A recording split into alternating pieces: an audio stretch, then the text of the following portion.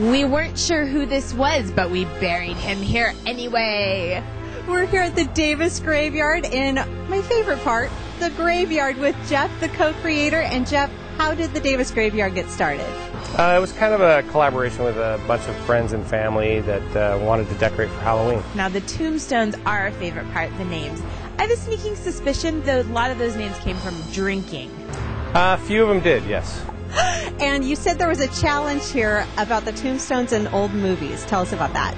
Yeah, amongst all the tombstones, there's some that have uh, quotes from movies or TV shows or from a book. So we have a little contest going to see how many of them people can get. Has anyone got them all? Nope. No one's got them all yet. My very favorite, and Jeff pointed this out to me, hold my beer and watch this. That's the best. You're watching PDX 49.